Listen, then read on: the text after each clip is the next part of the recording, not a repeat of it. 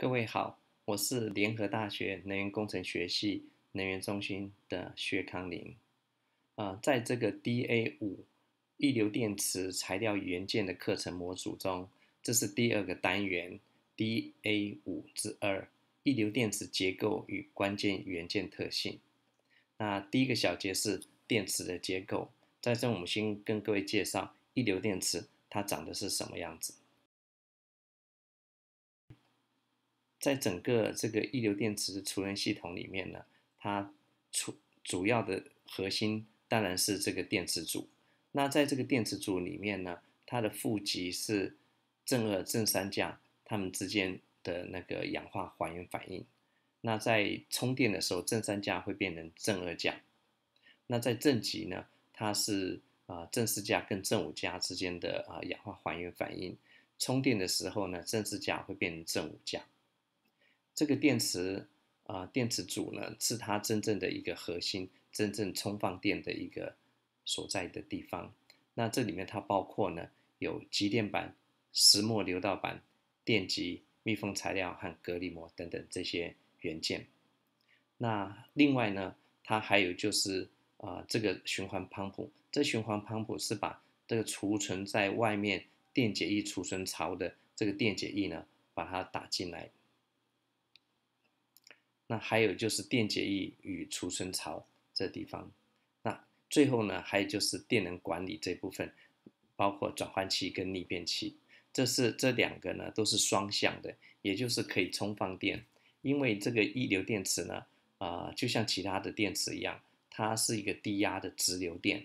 所以说呢，呃，真正应用的时候，我们都是用一百一十伏、二两百二十、三百八十伏的高压的啊交流电，因此呢。它需要经过这电能管理的逆变器转换器呢，把高压转变成低压，那交流转换成直流之间的变换。这是整个一流电池系统。那我们这这个小节里面呢，主要是看这个电池组中心的那个电池组它的一些啊基本的结构。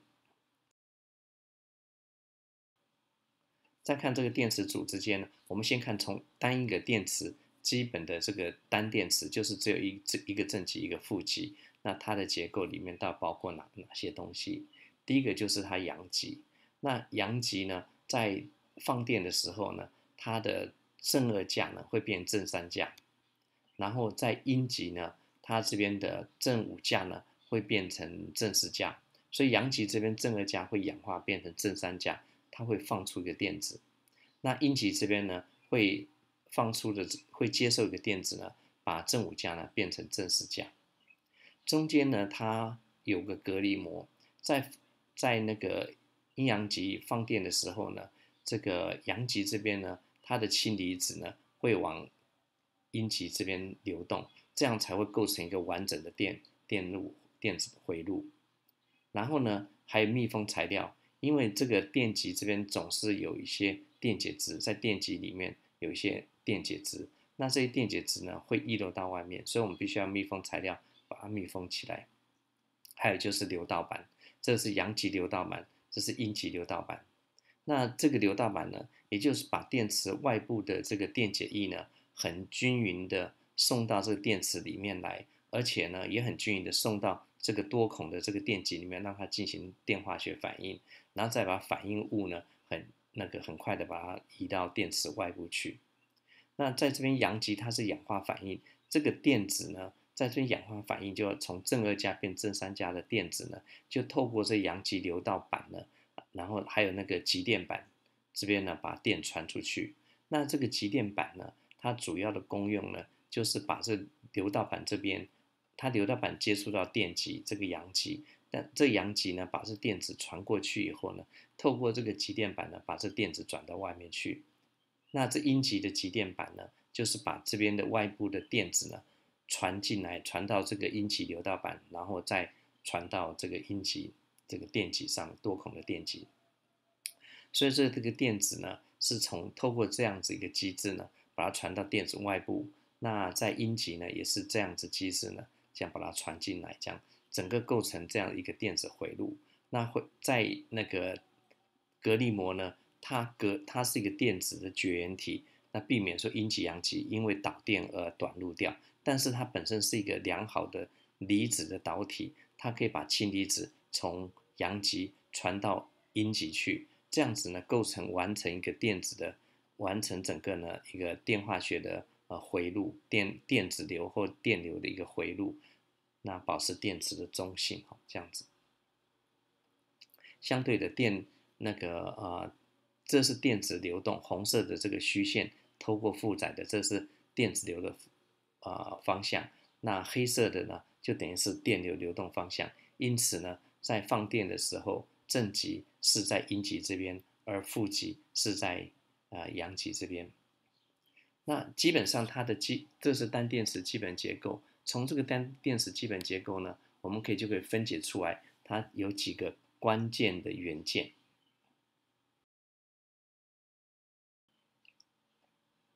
这个单电池它的关键元件呢，第一个当然就是呃我们所谓的阴极的极电板，它负责呢把这个阴极电流呢导从透过这个板子呢导出去。为什么要这个极电板呢？因为这个极电板是金属的，它导电导电效率比较好，不像石墨板。石墨板呢，它的导电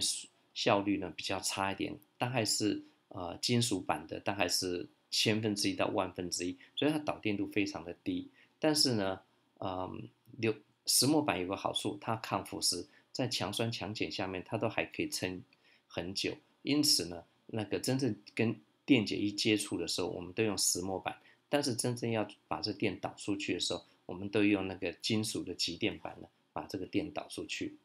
那接着，当然下面就是所谓的阴极流道板。那这个呢，本身是呃石墨做的，或是呃碳粉跟那个树脂合成压压出来的。这个呢，它本身抗腐蚀，但可以也可以把电导出去。但是就像前面讲的，它的导电率呢，包括导电度呢，没有那个极电板好这样子。所以真正把电导出去，还是要靠那个极电板。那还有密封材料，这个防止呢，这个呃电解液呢会漏过去。那还有就是呃阴极的阴极这个电极，这个电极呢是用碳粘，等于是像毛毯这种东西，就多孔的那个碳材料做成的，它比较厚，大概是由零点五公分这样子，因为它的厚度呢增加，提高它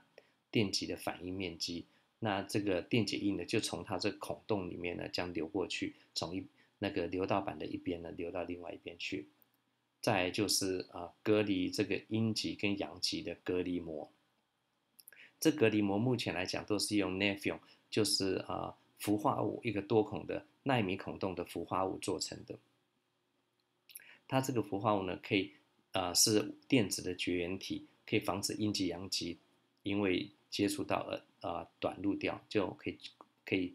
绝缘，是一个很好的绝缘体。但是呢，它本身有很多孔洞，所以电解质里面离子呢可以自由的通过它，这样传递过去。然后再来就是阳极，也是用碳粘做，然后阳极的这个密封材料，然后它的流道板，还有它的呃极电板，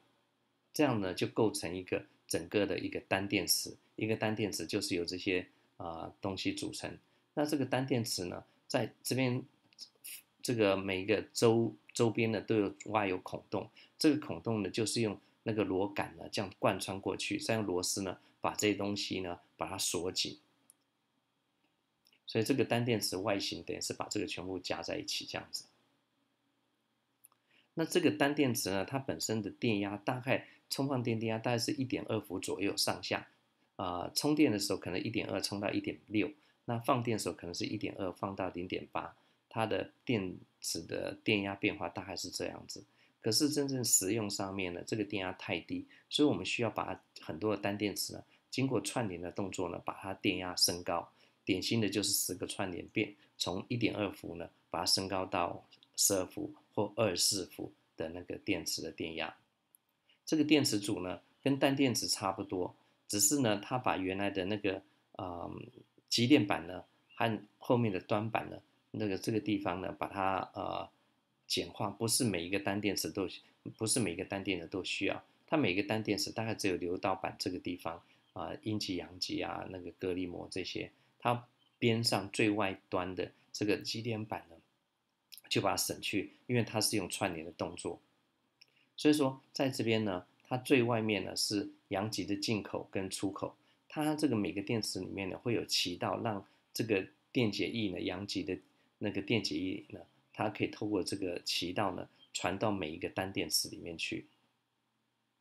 那接接下去呢，这这个外面的这个呢就是阳极的端板，它外面呢是等于是有那个阳极的螺杆跟那个螺丝哈，它贯穿每一个电池，然后把它锁起来。那这个端板的这个黄色的端板呢，主要就是这个螺锁螺的压力呢，能够很均匀的分布到那个整个面，就是它这个端板呢是比较厚的，